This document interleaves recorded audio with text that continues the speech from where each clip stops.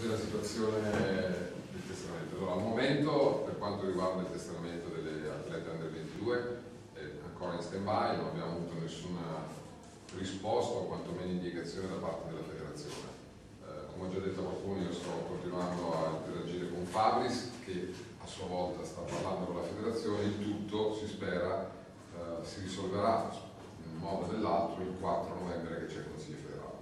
Il giorno prima sono a Roma per il ricorso, ora qui da spiegare un po' che tipo di ricorso abbiamo fatto. Noi in realtà eh, non potevamo fare un ricorso contro la mancata omologa del testamento delle straniere perché non c'è un provvedimento di revoca di sospensione dell'omologa del testamento. Questo anche qui eh, è un po' tutto l'assurdo della situazione, nel senso che eh, nella fase in cui eravamo arrivati noi di testamento, se c'era qualcosa che non andava, la federazione avrebbe dovuto, con raccomandata, a noi e alle atlete o, o sospendere o rigettare l'omologa, che poi può essere sospesa o rigettata solo se si sono presentati falsi o se le atlete non hanno idoneità. Quindi non essendoci un provvedimento non potevamo fare ricorso contro un qualcosa che non c'era.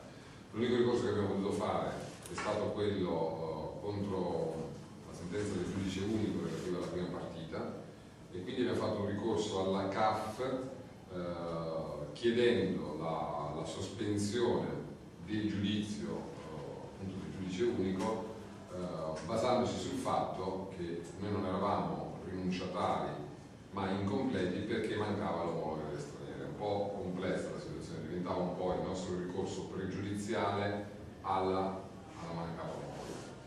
Eh, la cosa un po' strana è che a noi è stata arrivata eh, è arrivata questa sentenza dove il giudice unico si richiama alle regole di gioco dove dice che siamo risultati incompleti. Però è stata applicata la sanzione della squadra rinunciataria. Dire, gli arbitri, poi del delegato tecnico, al di là delle nostre scelte, più o meno politiche, comunque noi abbiamo, abbiamo chiesto più volte di poter giocare, eh, se vi ricordate anche dopo la partita, anche sul giudice. Gli arbitri hanno tentato di chiamare fino all'ultimo la federazione per capire se questo modo c'era o no. Quindi se poi fosse arrivato uh, un segnale da Roma noi avremmo giocato, quindi non eravamo rinunciatari, cioè non è che non ci siamo presentati in. E quindi abbiamo fatto ricorso questo, io andrò giù il mercoledì perché hanno rigettato l'istanza di sospensione uh, e qui ci può stare perché cioè, non c'è un'urgenza nel decidere se darvi, ridarvi o meno i tre punti, però hanno deciso di entrare nel merito della questione il 3 novembre. Io temo che in quella sede lì non si discuterà ancora lì dell'omologa testamento perché è competente la commissione testamento. Spero però che il primo passo indicativo se eh, potessero da una parte togliere tre punti e dall'altra eh, verificare appunto che c'è un problema sull'omologa, questo è il punto più, più grave della situazione. Ad oggi noi non capiamo se le nostre sono tesserate, non sono tesserate, manca solo l'omologa, non c'è l'omologa, perché non c'è nessun documento della federazione ufficiale che ci dica cosa, in che condizioni sono. Noi sappiamo che loro sono vincolate perché hanno il transfer internazionale rilasciato all'Asister, quindi in questo momento volendo non possono andare a giocare dalla nostra parte. Teoricamente sono tesserate perché sono ancora sul modello, sul modello TL2, sono, tutti i passaggi sono stati fatti, ma non c'è quindi non so, io penso che sia una questione che si risolverà politicamente il 4.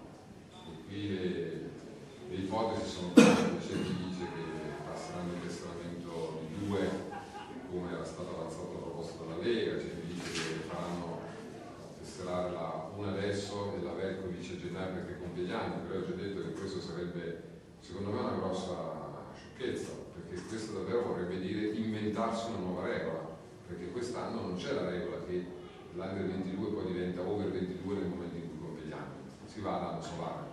Eh, quindi si, si, metterebbe, si, si, pasticcerebbe ancora di più. Eh, poi c'è il discorso della MONIQ, l'ho già detto mille volte, che viene considerato over 19, ma è un under 19 a tutti gli effetti, 93. Insomma, ci sono un po' di cose, vedremo. Adesso c'è questo primo passo, il 3, eh, secondo me sarà indicativo. E poi non è detto che poi tutto si risolva in quattro, è sicuro che ci sia una soluzione un po' così transitoria a metà, noi invece vogliamo che penso che abbiamo già pagato fin troppo per colpe non nostre. Già invece abbiamo fatto secondi in tre partite, ma le abbiamo fatte perché continuiamo a giocare in informazioni non solo per le mancate convocazioni nazionali, per il caso di Q o le prime partite Malaguski, ma perché non ci fanno giocare anche quelle che abbiamo. Eh, ci sono questi tre punti eh, di penalità che eh, non rispecchiano la, la sentenza. Ci sono troppe cose stanno facendo fare un campionato troppo troppo in, in salita e penso che insomma, adesso si devono un po' rimettere a posto le cose perché siamo già stati danneggiati fin troppo speriamo che tutto sia più di nuovo. Se la soluzione dovesse essere quella che la federazione accetta la proposta della Lega delle due tesserate, poi spero si possa rivedere il discorso della non IQ eh, per, per il 2019. L'ultima cosa che dico, tutte le atlete hanno dichiarato, ho parlato personalmente con loro, che loro comunque resteranno qui anche se eh, la federazione non gli darà la moda, quindi piuttosto non, non giocano ma si alleneranno Novara perché vogliono restare a Novara. E questo penso è un bel segnale che danno. E, ma così aveva anche detto che se qualcuno vuole ce lo sono date loro a disposizione. Allora quindi dovremmo dire a lei una risposta anche a regolare quello. Niente, basta, vi ho spiegato il ricorso perché più di una persona ha chiesto, sapeva se l'avevamo fatto meno. Tre, fra i 3 e i 4, insomma, fine, inizio settimana l'altro,